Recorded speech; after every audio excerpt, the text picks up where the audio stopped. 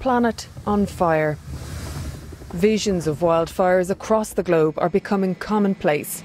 Now, previously unaffected areas like the Arctic are facing increasing risk, according to a new report by the UN Environment Programme.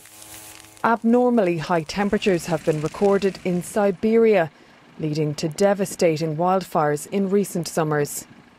Climate change and changes in land use, like deforestation, seen here in the Amazon, are projected to make wildfires more frequent and intense, with a global increase in extreme fires of up to 50% by the end of the century. Scientists are calling for a radical change in government spending from firefighting to prevention. Policies and management in that favor increases in spending um, in relation to preparedness, prevention, fuel management, and, and recovery, which is of course very important. It's and very often it's forgotten. The report says the world's poorest nations are disproportionately damaged as rebuilding after wildfires is too costly and livelihoods are ruined.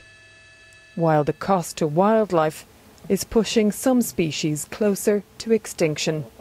Juliet Gash, RTE News.